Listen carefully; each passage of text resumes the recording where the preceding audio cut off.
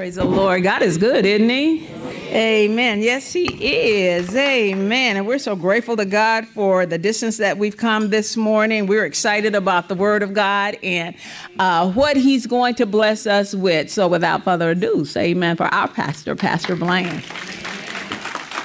Thank you. Thank you. Good morning. We started a series last week, and the title of the series was The Journey. The Journey. Um, I know we had a great vacation, a great trip. Uh, I think it was Lady Deborah, maybe about two or three years ago. We drove to Chicago. And I can remember it was just Lady Deborah, myself, and my grandson, little Jeremy. But I can remember after about eight hours, I can remember stopping at a convenience store or something to get some water or something, and little Jeremy just looking up at us like, "Are we there yet?" it was, you know, it's, it's, the further back I go, the sweeter that he was, and the further I come this way, you know. but it was just so sweet. He was like, "Are we there yet?" And, and it's kind of, that's kind of like the journey of life. The journey of life. Um, I'm coming to believe, uh, coming to see Brother Lacey, that humility is a wonderful thing. Yes, sir. But it takes time to get there. Yes, sir. And Sister Gammon, it, it can't be where I'm just acting like I have humility, acting like I'm humble. Humility comes from a state of your heart. Sooner or later, and you know, let me give you just an example, maybe all of us, Brother Jeff, can understand. Even in relationships, a man and a woman get together, and you know, y'all might even go so far as to get married. And somewhere down the line, you want to find out this Negro ain't who I thought he was. He crazy. and then you really hurt Sister Annie Bailey if somebody already told you you don't need to marry. He crazy but you did not believe it. And then when you see it yourself, you're so shamed because you wouldn't listen to anybody. The journey. Uh, we come to find out, Lady Deborah, that it's not a sprint, right. but it's a marathon. Uh, uh, Jesus said, He that endure to the end, the same should be saved. Now, he was not talking about us. We do not have to endure to the end in order to be saved. We're saved by the blood that Jesus shed on Calvary's cross. And so then, when we believe unto righteousness, Madeline, when we can believe, when God gives us faith to believe that what Jesus did on the cross paid the sin debt, when we believe that, then the Spirit of God uh, baptizes us into the body of Christ. Ephesians and Colossians tells us that when he was crucified, we, was, we were crucified. The Bible says by two or three witnesses, let every word be established. Uh, I got more Bible on it. Paul said, I'm crucified with Christ. And so then if you're in the body of Christ, even though in 29 AD they did not take you up a hill called Golgotha, even though they did not put the Roman spikes in your uh, wrist and in your uh, uh ankles, Yet God counts you as it was you who died in order that you might be resurrected in the newness of life. I used to think before I got over here and got a little better teaching, I used to think it was very, brother, I used to think, Brother Coleman, that it was very hard of God for God to say that without faith it's impossible to please Him because I had been raised up, up under a very legalistic and a very performance oriented uh, religion. I was told that if you paid your dues, if you came to church regularly, I was told if you read your Bible, I was told if you went to prayer meeting, I was told that if you had good behavior, then God was, you know, God, actually God owed you something. Because look, God, look how good I've been and look what I've done. But, but I come to find out that the only thing that pleases God is what his son did on Calvary's cross. I come to find out that all my righteousness is as filthy rags. And that only God, what he does, is what he accepts. Come to find out that I must put my faith and trust completely in God and not in myself. Not in myself. Uh, what, what, did I give you a scripture yet? Let me see if I can get you one then, so you'll be all right. Romans, let's, let's try Romans, uh, the fifth chapter. Romans 5 and 1, the Bible says, Therefore, being justified by faith, we have peace with God through our Lord Jesus Christ, by whom also we have access by faith unto this grace wherein we stand and rejoice in hope of the glory of God. And not only so, not only so, but we glory in tribulations also. Look at your neighbor, look them right there in the eyes, and just ask them, say, Are we there yet? Are we there yet? Are, are we there yet? In, in, in, in, in this journey, I'm so glad to be at church with some real folk today. Because, you know, it's about four or five of us, we're going through hell and high water. But we know how to play it off so good. We look so good while we're going. We learned how to keep a smile on our face, even when we're crying inside. You say, well, Pastor, that's phony. Well, it's not really phony, you see, because the Bible tells me, uh, Brother Davis, he says, cast not away, therefore, your confidence, which has great recompense of reward. So God, God admonishes me that no matter what I'm going through, to keep my confidence in God. Have you been through enough yet to know that God can pull you up out of any ditch? That no matter how bleak it may seem, no matter how the storms are raging, that's the reason it's good, Mother Bland, to have some seasoned saints around. That's the reason that it's good. And uh, Paul told, told Timothy, he said, don't let a, a youth be a bishop. Uh, you, you, you, need a little experience. I know you I know you know the scriptures, and I know you was the president of the Sunday school and all that. But baby, you need to walk with him for a while. You, you, you need some storms. That's reason uh, Vanna Jr., sometimes people will ask me, I think uh, uh, Corman asked me when he got married, he said, well, Pastor, what advice do you have? I looked down.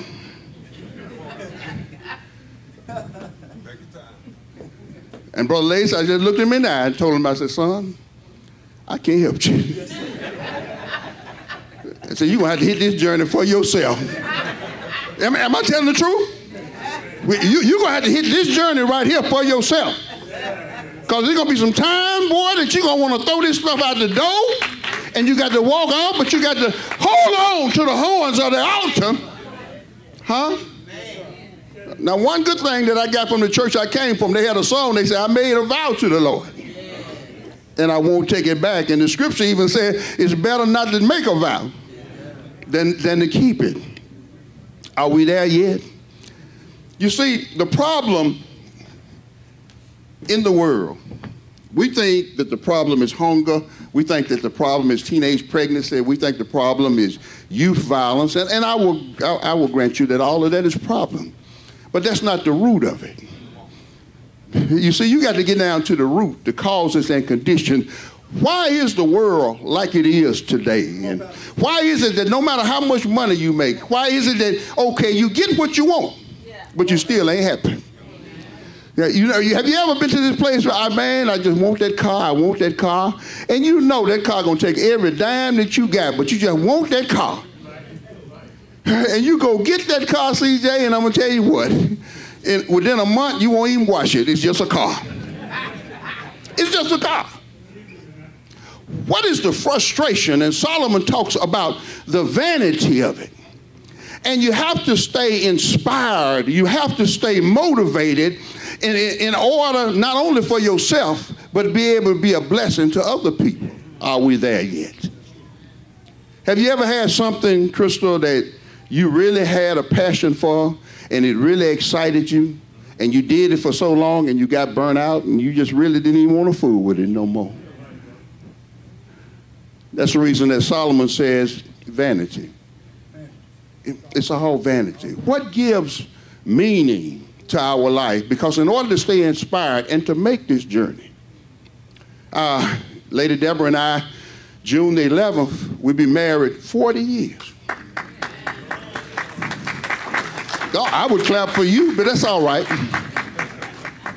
And I used to take the position, Demetrius, I used to take the position because I'd be halfway shamed because I know how what a monk out and act during the 40 years, that I would put a disclaimer on it and I said, well, you know, yeah, but you know, all of it ain't been sunshine and all that, you know, and everything. God told me, say, shut up.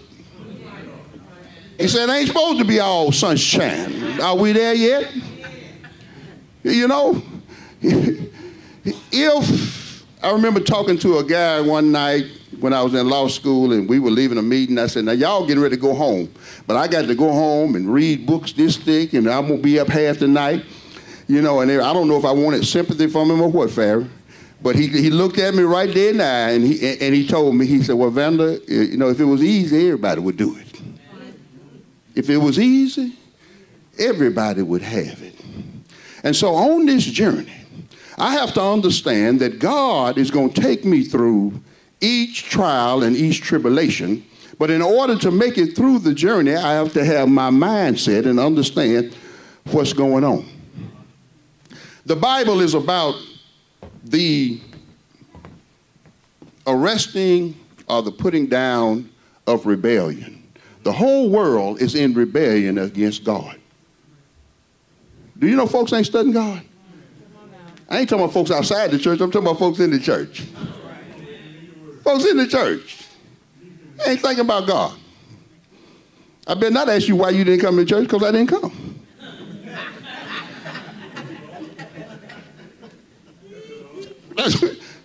Oh, hey, rebellion.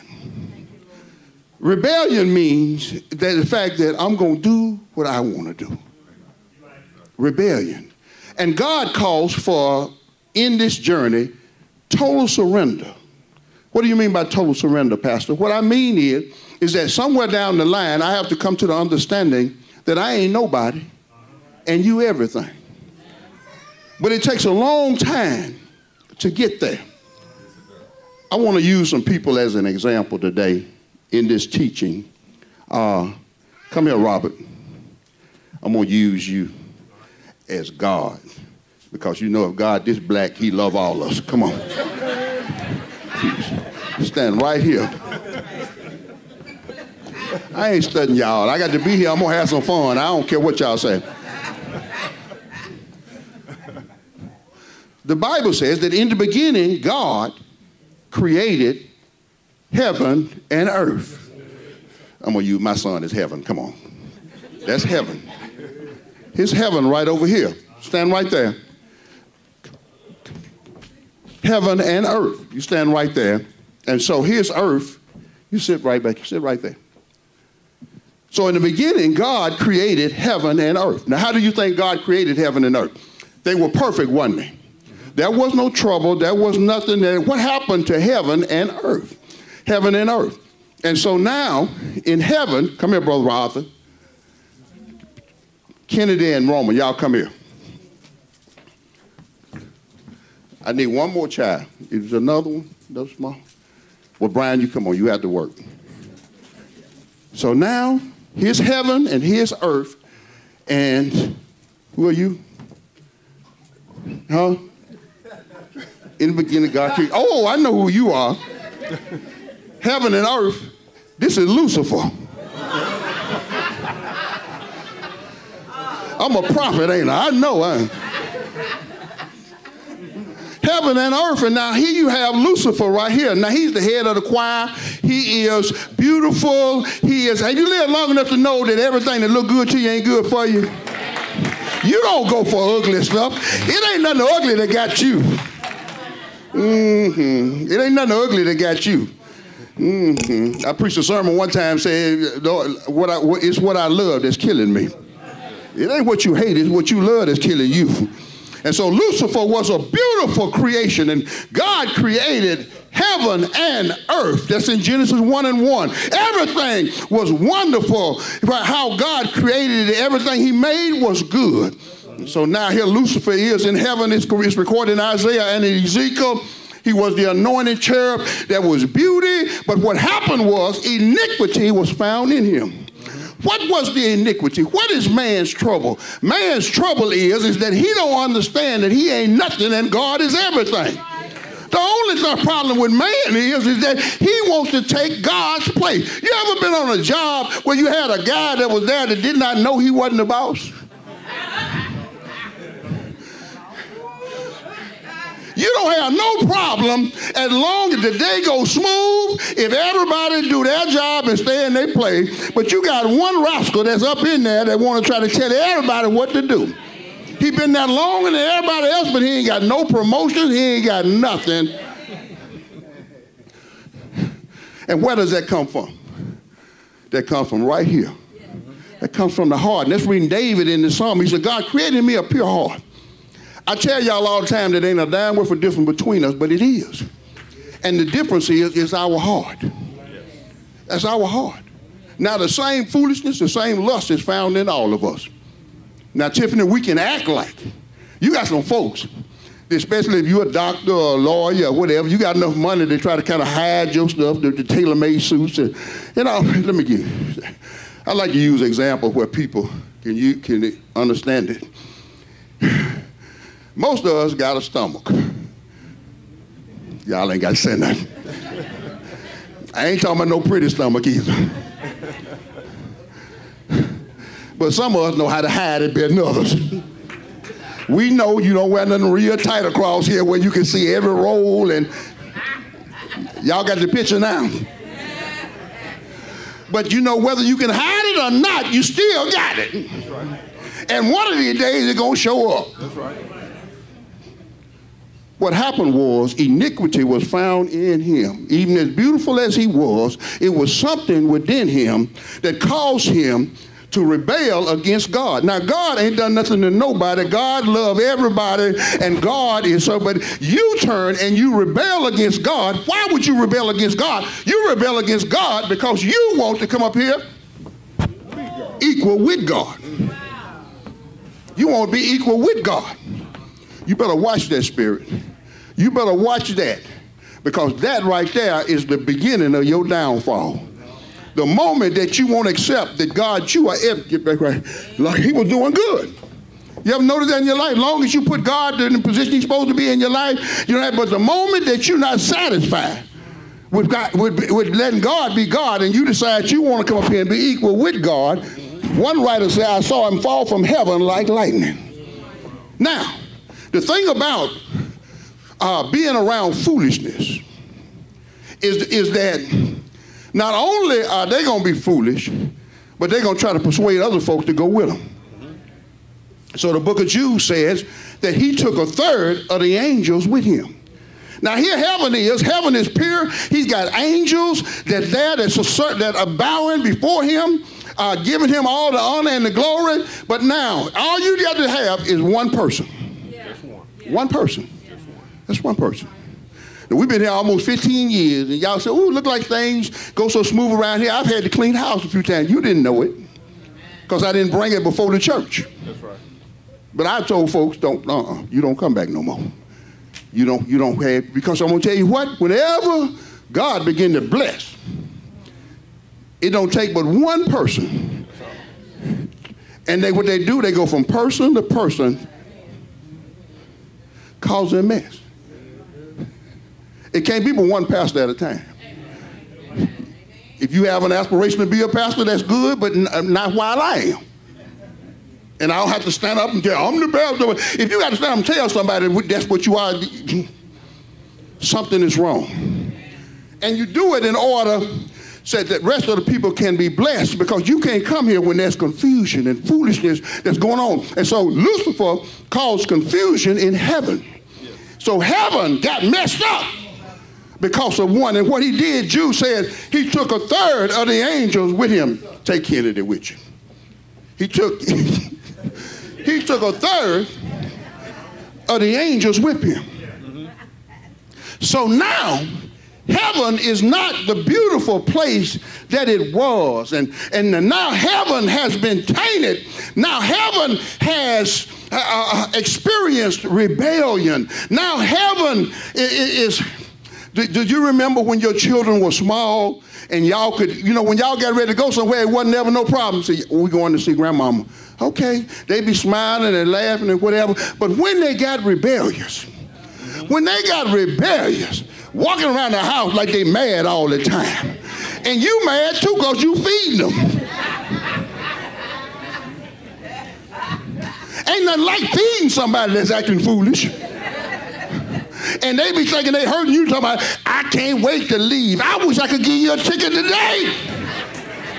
You're causing problems. You causing problems. We was happy till you started. We was a family until you got rebellious. You you causing all the problem up in here. So God still has two two thirds of the angels, but but but now heaven has been tainted. Okay? Now, but God created heaven and earth. And so now you have the earth over here. Okay? This is heaven. Where earth at? Thank y'all. I'm 63. All right. Who you? Huh? That's God. And that's heaven. All right, I got you. You know what? Y'all paying attention. That's why I did that one day, so I see y'all. So here the earth is, stand up. And so God on the earth there, God creates the earth and everything is, is fine. But then by the second or third verse, he says that there was darkness upon the earth and there was chaos. And God came in and he had to speak everything over again. They said, let there be light. And there was light. And then, then God decided that he would put man there. Come here, brother David. He puts man there. And he puts man there to dress and keep the earth. Yeah. He made it for man. But now what happened was man was doing fine, and, but it looked like he was like said, not good for him to be alone. Come on, woman. so he puts him to sleep, and out of him comes a woman, and out of this woman and everything, that's when his trouble started. Uh-huh. I know you want to look at somebody and say that's when mine started too, but that's all right. That's all right. I bet you can't make it without him. I bet you can't make it without him. So now Satan comes.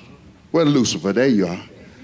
Now, this is the thing about it is, is that we fight not against uh, uh, uh, flesh and blood, but against powers and principalities, spiritual wickedness in high places. Uh-huh. So now he has messed up heaven. Okay. So here he come gonna mess earth up. Uh-huh.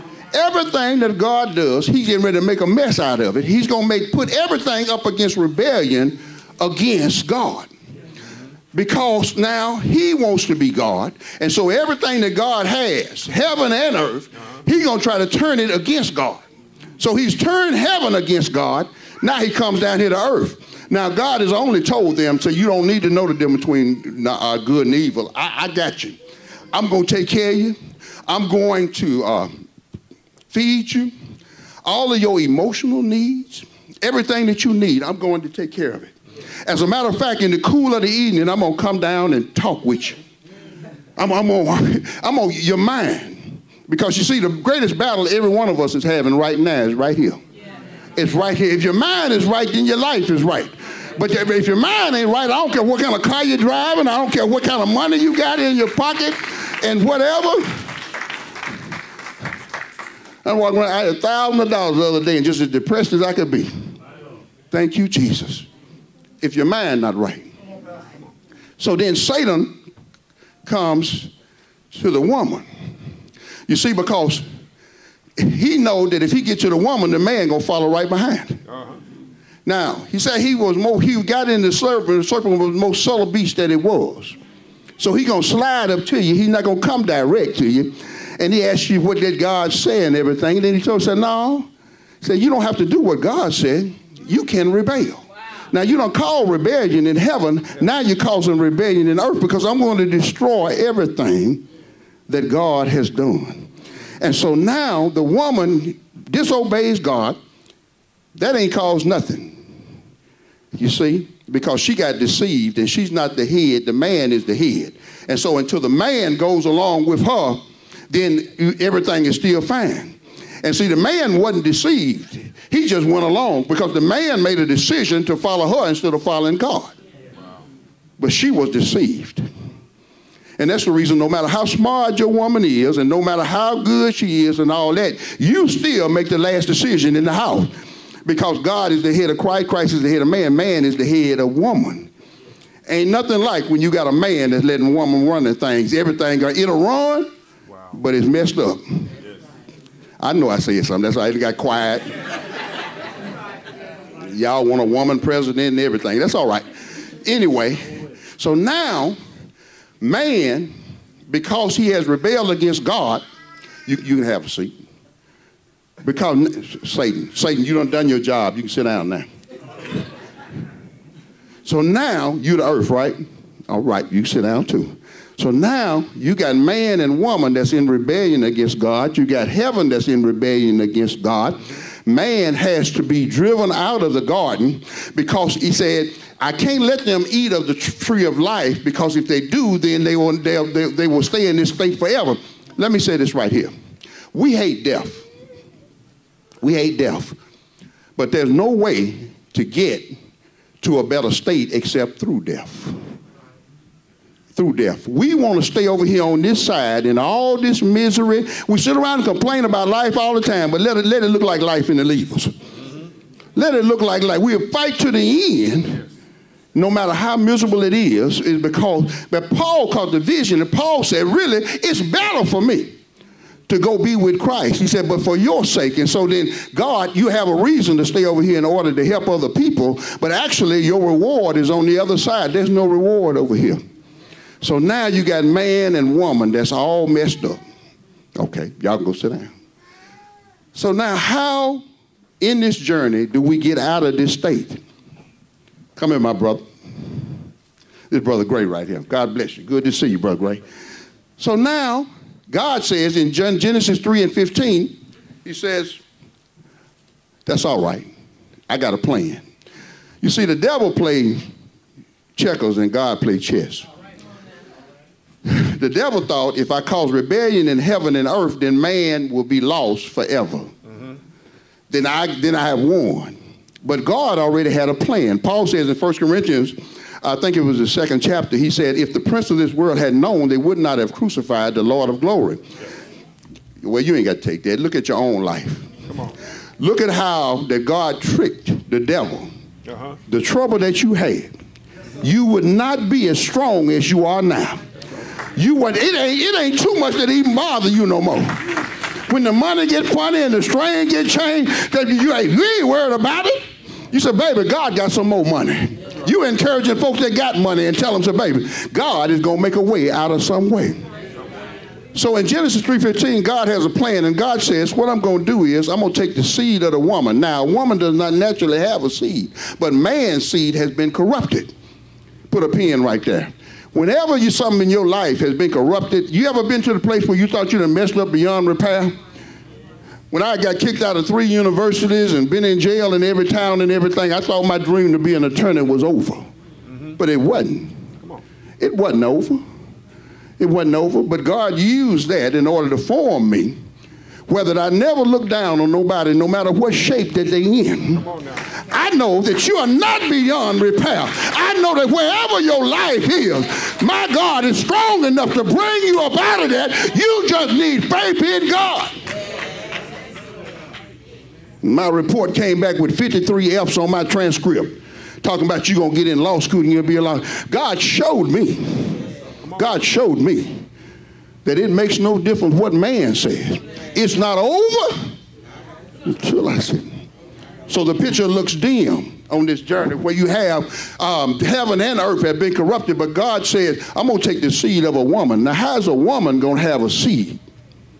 Because the man has the seed. When they do a blood test, uh, the, the blood is in the man's seed. They, they don't get the blood from the woman, it comes from the man. But now, uh, Isaiah says in 7 and 14 says, a woman, a virgin, she don't know no man. But a virgin is going to be overshadowed by the Holy Ghost, and I'm going to have a child through a virgin. And he's going to be called Emmanuel, God with us. That's what you're saying, Pastor. What I'm saying is, is that whatever is going to be worked out, God got to work it out. God said, quit looking to man. David said, look, I'm going to look to the hill. Do you realize that your answer didn't come until you stopped looking to folk? Until you quit waiting on. My relationship with God didn't ever get to be nothing until I stopped looking to the pastor, till I stopped looking to the church, till I stopped looking to the bishop. When I look to the one who saved me, when I look to the one who sits high and looks low, then God Himself straightened my life up. So now He says, the woman, the seed of the woman, she's going to come and, and you're going to bruise his heel, but he going to crush your head. You can have a seat. So now the seed of the woman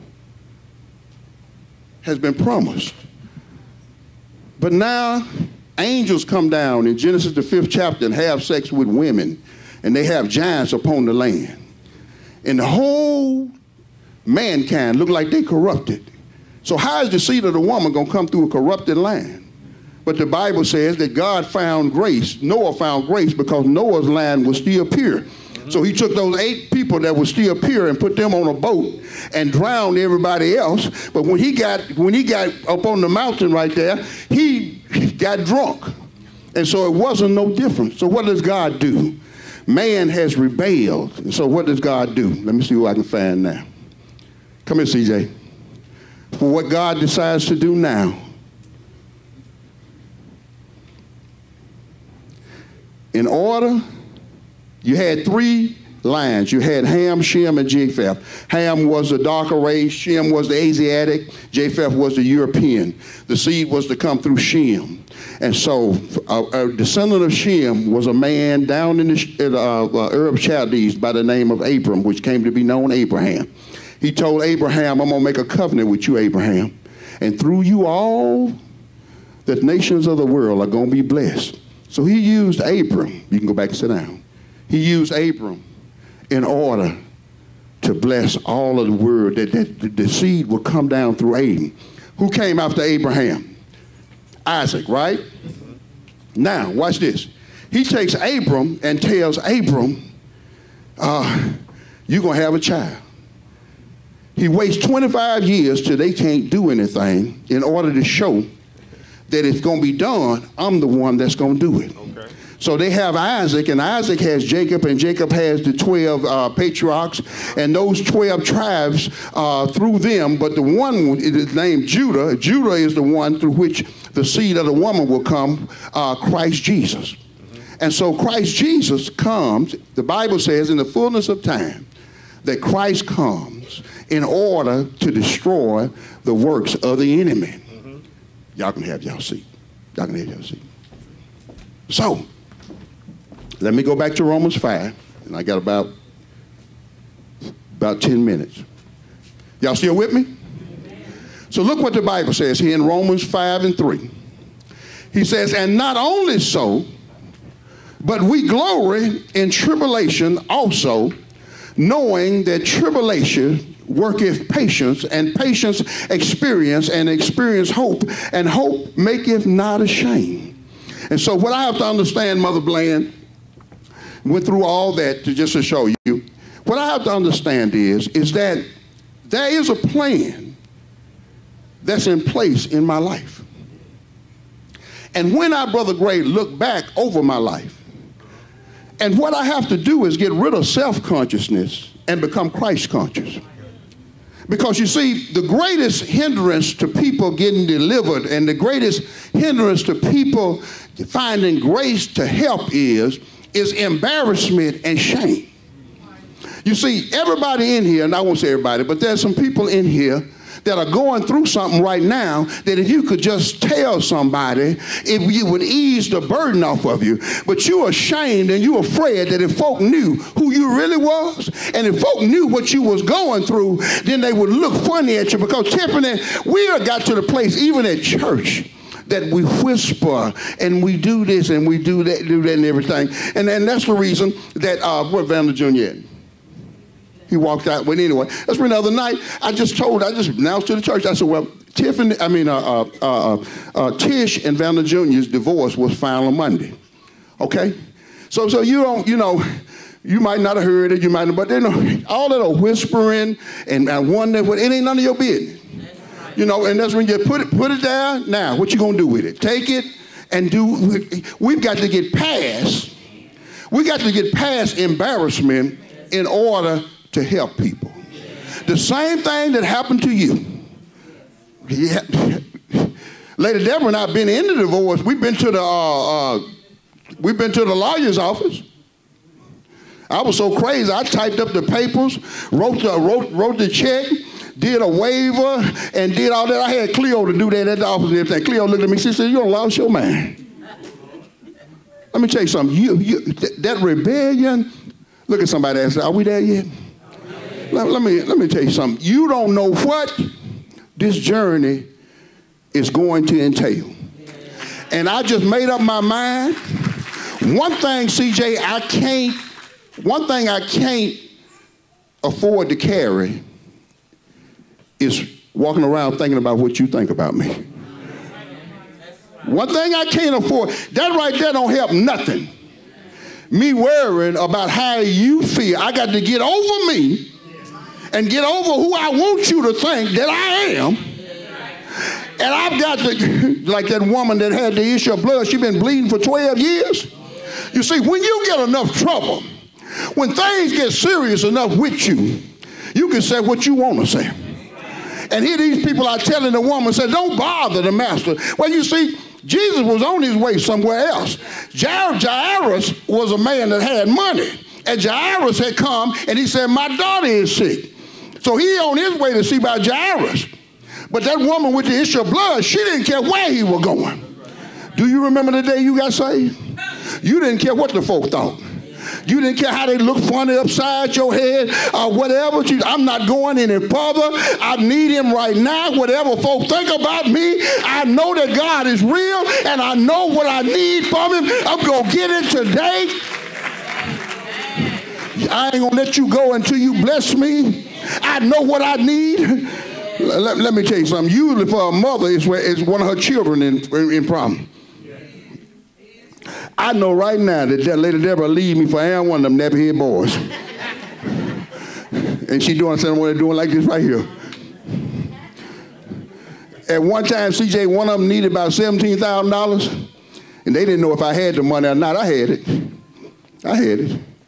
But I walk around the house, Faradine, just, you know, I'm like, I'm not finna get this Negro my money. and mama walk around the house like a sick milk cow. I'm like, this right here. After about the second day, I just went out. I just, I said, here, I just took the money and threw it up under her. I said, here, hit him. You know what she said? She said, you want something to eat, baby? when did it get serious enough? I'm gonna come here this morning for you to look at me and talk about, who he sure did preach. We don't went to church enough and talk about how the preacher preached. I need some help. And what I need some help with, preacher, I don't, I don't expect you to pay my light bill or nothing. I need some help with my thinking. Because I'm caught somewhere between homicide and suicide. Folk don't really know who you're sitting by. You don't know who you're sitting by. Thank you, Jesus. Are we there yet? And it can go on so long, mother. And so Paul says here, I'm almost through. Paul says here, because I understand that I'm justified by faith, because I understand that God, uh, through his son, has put down rebellion, because I understand that now I'm in right standing with God, uh, I've got to have patience. I've got to have some patience. And see, Renee, I can remember sitting in my little office and you know, folk can try to make you feel bad, Pharaoh, about where you at. You can't do me like that now. Right. I proudly tell them what my nickname is. When I pledged uh, Omega Psi Phi, my, my nickname wasn't one of them great names like Curific and what it, what it done, all that kind of stuff like that. My nickname was Fleabag. My nickname was Fleabag.